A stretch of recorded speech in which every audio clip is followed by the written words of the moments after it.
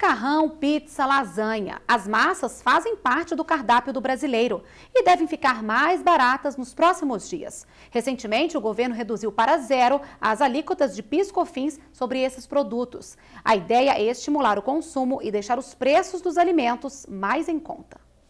O pãozinho de cada dia e aquela suculenta lasanha ou macarronada do domingo podem pesar menos no bolso do brasileiro. É que para manter o consumo, os preços e empregos como forma de fortalecer a economia brasileira, o governo anunciou uma série de medidas. Entre elas, reduziu de 9,25% para zero as alíquotas de PIS e COFINS sobre massas até 30 de junho do ano que vem.